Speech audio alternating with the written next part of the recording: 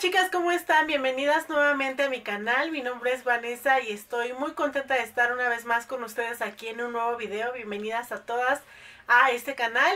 El día de hoy les traigo la reseña de la nueva base de Beauty Creations que ya tengo por aquí. Es una reseña que ustedes me pidieron muchísimo y que obviamente yo ya tenía muchas ganas de hacer porque desde que tuve oportunidad de conocer esta base en la Expo Beauty Show que fue donde yo les estuve mostrando que iba a salir esta base en este mes de enero. La estuve testeando y la verdad es que es una base que me dejó muy muy sorprendida, ya moría de ganas por tenerla y bueno, por fin ya está aquí chicas. Les voy a hacer demostración, reseña y también swatch de tres tonos que son los que yo estuve comprando para ver cuál es el que me queda mejor. Aunque les aclaro que esta no es una primera impresión porque pues yo ya la estuve utilizando, llevo dos días usándola, pero pues ya eh, tengo una idea de qué tal se comporta mi piel que es grasa, así que si tú también tienes piel grasa, te voy a dar mi punto de vista, qué tal la recomiendo para esos tipos de piel. Como les repito, chicas, yo tengo tres tonos, son los que están por aquí. Y pues les voy a estar recomendando el que mejor les queda a todas esas chicas que se identifican mucho con mi, con mi tono de piel. Esta base la pueden adquirir ya en el centro de la Ciudad de México en la tienda de cosméticos B&U que es donde yo la compré. Tiene un costo de 120 pesos y bueno, como muchos de ustedes ya conocen esta tienda chicas, tienen la sucursal de Plaza Moneda que está súper cerca del Zócalo. Yo les recomiendo que si es la primera vez que ustedes van a checar los tonos de esta base porque llegaron tester de todos los tonos, vayan a la sucursal de Moneda que es donde tienen los tester porque en la sucursal de Calle del Carmen ya la tienen a la venta pero ahí no tienen los probadores. Posteriormente creo que ya los van a tener, pero por el momento solamente los tienen en la sucursal de moneda. Si tú no sabes dónde queda esta tienda, les voy a dejar sugerido por aquí arriba un video de cómo llegar a esta tienda. Y si tú no eres del centro de la Ciudad de México, ellas realizan envíos a toda la República. Así que bueno, vamos a comenzar con la reseña y aplicación de esta base. Primero voy a comenzar platicándoles en cuanto a la presentación de esta base. Viene en esta cajita súper bonita, es un rosa bebé con detalles en rose gold. Se llama Flawless Stay Foundation y nos indica que esta base es cruelty free por la parte de aquí atrás. Ya sabemos que la marca de Beauty Creations no testa en animales. Por uno de los costados vienen los ingredientes y en otro costado nos dice que esta, que esta base tiene un acabado satinado, que es libre de aceite, es hidratante, que es de larga duración, de fórmula ligera y que contiene vitamina E, por lo cual está indicada para todo tipo de pieles, ya que es libre de aceite para quienes tenemos piel grasa y también es hidratante con vitamina E para las chicas que tengan piel eh, seca o piel normal. Está indicada para todo tipo de piel. Y la cobertura de esta base nos indica que es de media a full. Eso lo dice únicamente en la cajita.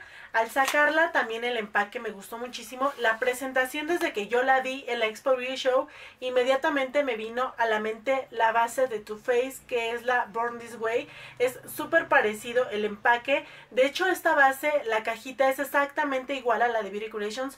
Yo justamente acabo de tirar esta cajita, así que no la tengo para mostrárselas pero la caja es exactamente igual. También el envase es de vidrio, eh, como de cristal templado. Lo único que cambia es la tapa, que la de Too Faced es negra y esta es un rose gold. La verdad me gusta más la de Beauty Creations. El tipo de letra que trae en el empaque también es bastante parecido. Y de hecho vienen las mismas especificaciones en ambos envases. Nos dice que es eh, la cobertura media full, que es libre de aceite y eh, pues así es como viene, ambas vienen por la parte de abajo con eh, también el tono y algunos de los ingredientes, así es como viene la tapa chicas, pero la verdad es que yo ya he utilizado esta base y puedo decirles de entrada, antes de que les haga swatches y todo esta base, me gusta más la de Beauty Creations que la de Too Faced, de hecho por eso casi no me ven utilizando en videos porque es una base que no utilizo mucho, pero bueno, siento que el empaque sí está como muy inspirado en esta, pero pues obviamente en una marca más económica. En cuanto a la gama de tonalidades me parece bastante, bastante amplia y muy completa. Son 18 tonalidades que obviamente va desde, desde los más claritos hasta la más oscura. Eh, vienen desde subtonos fríos, cálidos y neutros. Yo tengo dos subtonos cálidos y uno neutro, por eso les comentaba que son tres. Ahorita me los voy a probar para que ustedes vean eh, cómo se ve cada uno de ellos, chicas. Y les voy a dejar una imagen que tomé con algunos swatch de otras un poquito más oscuras. No hice de todos porque sé que la mayoría de nosotras somos como tonos intermedios, no eh, tan claritos ni tampoco los más oscuros. Así que les voy a dejar por aquí una imagen con los subtonos eh, que también estuve testeando ahí en la tienda para que ustedes chequen cuál por si ustedes son un poquito más morenitas o más blanquitas. Como les comenté al principio de este video, chicas, no es una primera impresión, yo ya la utilicé anteriormente, bueno, con esta es la tercera vez que la voy a aplicar. Ya la utilicé con primer, sin primer y sellándola con un polvo y también sin sellar, así que les voy a contar qué tal la duración y cómo se aplicó de ambas formas. Para este video voy a estar utilizando el primer también de Beauty Creations, que es uno de mis favoritos. De hecho, casi ya está terminado, ya tiene muy poquito porque la verdad es un primer que a mí me gusta muchísimo. Y pues bueno, voy a aplicarlo en la zona T. Este me ayuda a matificar y también a minimizar poros. Mientras que el primer hace un poquito su función, les voy a mostrar los tres tonos que yo tengo. Y la base que he estado utilizando estos dos días es el tono 4.5. Esta tiene un subtono cálido, es decir, que es amarillita. Y pues la verdad yo siento que me quedó muy bien. A la hora que la comencé a aplicar con puntitos, creí que estaba un poquito clara, pero ya difuminada se ve muy bien. Y bueno, pues los siguientes tonos que estuve adquiriendo es el 4, que es eh, pues medio tono menor al, al, que tengo obviamente, y también el tono 5.0. Estuve haciendo swatch del 5.5 porque aparentemente en el empaque el 5.5 se veía más claro que el 5.0, pero ya una vez que las probé en la mano, pues no sé, está un poquito más oscuro el otro y además se ve como más amarillo, entonces me decidí por este. Ahorita voy a aplicarme los tres para que ustedes vean qué tal. Me voy a ir por orden, chicas, y el primero que voy a aplicar para que ustedes vean qué tal se ve es el tono 4.0. Este lo voy a poner aquí.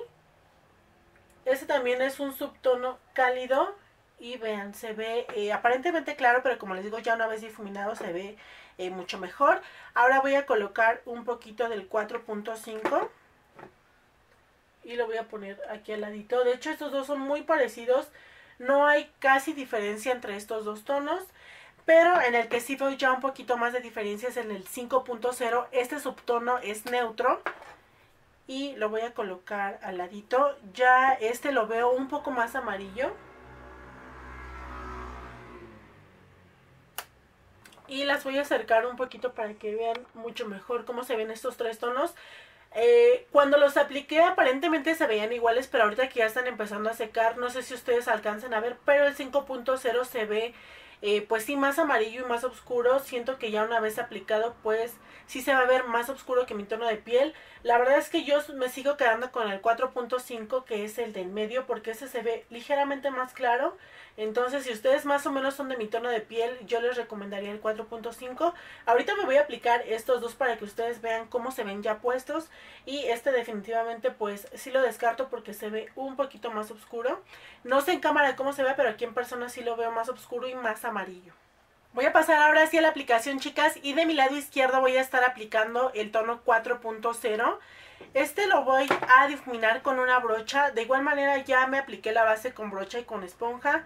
Y de adelanto les comento que a mí la verdad me gusta más el acabado con esponja. Siento que la base queda mejor difuminada, pero ahorita ustedes van a ver la diferencia.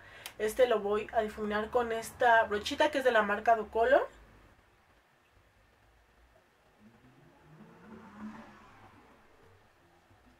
Y bueno, desde ahí ustedes pueden estar viendo ya la cobertura que se ve bastante, bastante buena.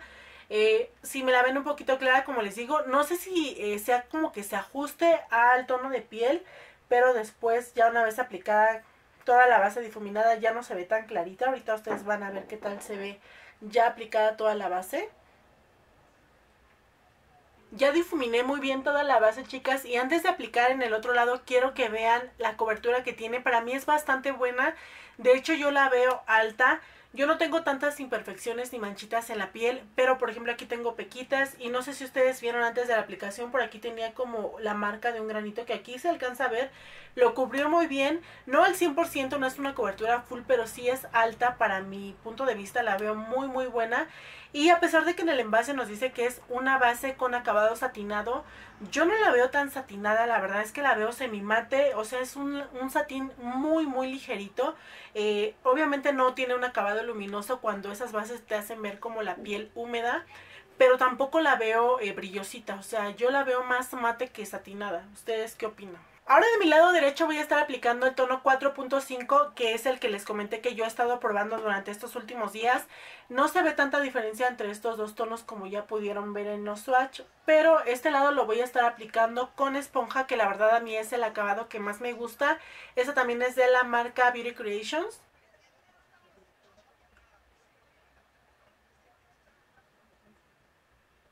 Y así es como se ve este otro lado ya con el tono 4.5.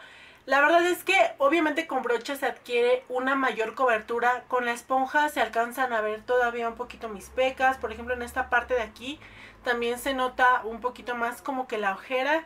Pero a mí me gusta más este acabado porque siento que se ve más natural aquí, pues obviamente ya es cuestión de gustos, como eh, prefieran ustedes el acabado de su base. Lo pueden aplicar también solamente con brocha y después pasar ligeramente la esponjita nada más como para pulir la base. Y pues también van a lograr una muy buena cobertura. De ambas formas me gusta. Y la verdad es que en cuanto a los tonos, a mí me gusta un poquito más cómo se ve el 4.5. Esta base nos dice que puede ser construible. Ya apliqué en una ocasión una segunda capa, lo voy a hacer de este lado para que ustedes vean con el tono 4.0. Lo voy a colocar solamente en esta parte donde tengo esa manchita que se alcanza a ver. Y la voy a difuminar con la eh, brocha porque este fue el lado que puse con la brocha. Y sí, eh, cubre un poquito más, chicas, pero les voy a ser muy honesta. A mí no me encanta tanto cómo se ve con una segunda capa, porque siento que ya se nota más que traes base, se ve un poquito más pesado este lado. Incluso se ve un poco más amarillo, si ustedes lo pueden alcanzar a captar. De este lado se nota más amarillito que de este lado, o sea, este lado se sigue viendo más natural. Y aquí ya se nota más, pues que traigo base, se ve la segunda capa. No se cuartea ni tampoco se acumula en líneas de expresión pero eh, yo prefiero cómo se ve este lado. Aquí obviamente pues les reitero ya es cuestión de gustos y cómo les gusta a ustedes que se note su base. Voy a terminar el resto de mi maquillaje, voy a colocar rubor, contorno nada más. No la voy a sellar en esta ocasión tampoco. Y pues ahorita les voy a dar como mis opiniones finales, cómo me fue utilizando estos días esta base. Y pues en general qué tono les recomiendo más y bueno todas esas conclusiones finales para que ustedes vean eh, qué tono les conviene mejor. Y terminé ya con el resto del maquillaje, chicas. Así es como se ve la base con el maquillaje terminado. Puse solamente un poquito de iluminador, rubor y contorno. No la sellé como les dije, solamente puse la base y creo que no es necesario. A mí me encanta cómo se ve el acabado. Aunque al principio ustedes vieron que se veía un poquito clara, la verdad es que como les dije, ya una vez aplicada el tono se ve muy parejito. De hecho se ve igual a mi tono del cuello, a mi tono del resto de, de mi cuerpo. La verdad me gusta mucho, mucho cómo se ve. Aunque de los dos tonos yo siento que me quedaría todavía con el 4.5 que es el tono que yo estaba utilizando antes de probar los otros dos. Es el que me gusta más cómo me queda, siento que se ve más natural. Es el de este lado. Creo que se ve todavía más parejito que el tono 4. Se llega a ver ligeramente, muy muy ligeramente más clarito y pues es el que siento que me va mejor a mí, así que si ustedes son de mi tipo de piel, más o menos de mi tono de piel, el 4.5 es el que yo les recomiendo. Y pues les voy a contar chicas mi opinión acerca de esta base.